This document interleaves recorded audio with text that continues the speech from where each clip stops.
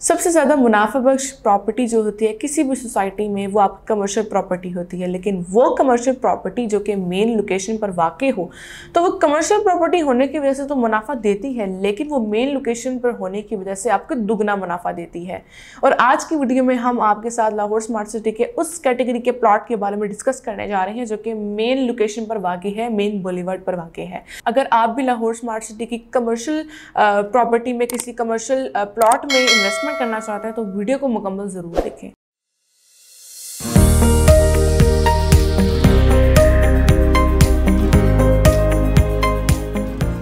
आज की वीडियो बनाने का मकसद आपको उस कैटेगरी के प्लॉट के बारे में डिस्कस करना है, जो कि मेन बॉलीवर्ड पर वाक़ हैं। तो आपको पता है, लाहौर स्मार्ट सिटी का जो मैप रिवील हुआ था, उसमें आपको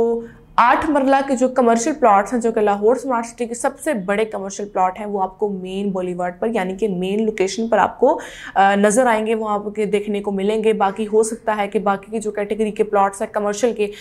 जैसे छः मरला है टू पॉइंट सिक्स सिक्स मरला है और चार मरला है, शायद वो भी जो है किसी न किसी जगह पर मेन लोकेशन पर आपको देखने को मिले, लेकिन हमें जो आठ मरला के कमर्शियल हैं, वो बेसिकली मेन लोकेशन पर वाक़ हैं और मेन बॉलीवर्ड पर वाक़ हैं तो उनकी जो वैल्यू है बहुत ज़्यादा ज़्यादा है। आठ मरला कमर्शियल की और लाहौर स्मार्ट सिटी के सबसे बड़े कमर्शियल प्लॉट्स हैं। आठ मरला कमर्शियल की आपको पता है एग्जेक्टिव ब्लॉक की जो कुल कीमत है वो एक करोड़ चौहत्तर लाख और पचास हज़ार है। उसके साथ साथ जो ओवरसीज़ है ओवरसीज़ ब्लॉक का जो आठ मरला कमर्शियल है वो तकरीबन सिर्फ़ और सिर्फ़ एक करोड़ उनासी लाख और पचास हज़ार उसकी कीमत है। उसके साथ जो मार्केट ओन है, आपको पता है डेली बेसिस पर जो है लाहौर स्मार्ट सिटी के जो रेट हैं वो फ्लक्चुएट कर रहे हैं। और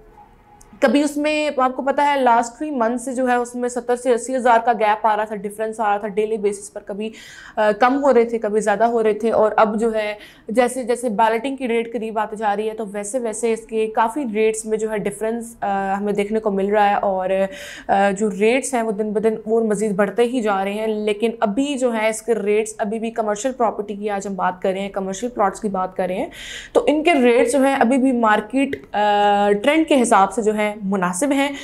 परचेजिंग के लिए और सेलिंग के लिए दोनों पॉइंट ऑफ़ व्यू के लिए तो एक आपके पास अच्छी ऑप्शन है, लेकिन अगर आप उसको बाइंग करना चाहते हैं इन्वेस्टमेंट पर्पज़ के लिए तो आप उसको ज़रूर परचेज़ करिए। अगर आप परचेज़ करना चाहते हैं इसको इन्वेस्टमेंट के लिए तो आपको ऑब्वियसली सी बात है, वो तो आपको पता ही है कि आपको बीस परसेंट जमा करवाना है, लेकिन बैलेटिंग के लिए आप जाना चाहते हैं तो उसको आपको चालीस परसेंट की अमाउंट फुल जमा होनी चाहिए, तभी आप बैलेट का हिस्सा बन सकते हैं। जहाँ तक बात की जाए इसकी डेवलपमेंट की तो डिफरेंट ब्लॉक्स में डिफरेंट सेक्टर्स में डेवलपमेंट अच्छे से जारी है। मस्जिदें जो हैं, बन चुकी हैं और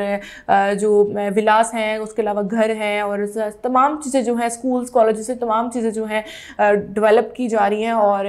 बस इनकी जो फिनिशिंग का काम है वो बाकी है। और इसी तरह जो है जितने भी लोग अभी इन्वेस्टमेंट करना चाहते हैं, अभी आपके पास अच्छा टाइम क्यों है? क्योंकि लाहौर स्मार्ट सिटी इस वक्त बहुत ऊपर जा रहा है और आपको इसमें प्रॉफिट देखने को मिलेगा, क्योंकि कमर्शियल प्रॉपर्टी जो आपकी, कोई भी प्रॉपर्टी चाहे वो रेजिडेंशियल या कमर्शियल अगर वो मेन पर आ रही है, अगर वो मेन लोकेशन पर आ रही है, आप किसी और सोसाइटीज़ में भी देख, देखते हैं, जैसे कि वो जो टॉप पे सोसाइटीज़ होते हैं, अगर वो मेन लोकेशन पर भी लोकेटेड होती है ना तो उनकी वैल्यू जो होती है बहुत ज़्यादा होती है और उसके साथ साथ उनके रेट्स वक्त के साथ साथ बढ़ते रहते हैं। ये थी लाहौर स्मार्ट सिटी के आठ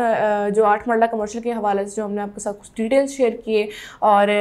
कुछ इन्वेस्टमेंट के पॉइंट ऑफ़ व्यू से हमने बात की। तो इसको मद्देनज़र रखते हुए अगर आप सोच रहे हैं, करना चाह रहे हैं इसमें इन्वेस्टमेंट तो आप अभी हमसे फौरी तौर पर रबता कीजिए और अभी आपके पास अच्छा वक्त है, इस अच्छी अपॉर्चुनिटी को अपने हाथ से मत जाने दें। इंशाल्लाह मिलते हैं नेक्स्ट वीडियो में, तब तक के लिए अल्लाह हाफ़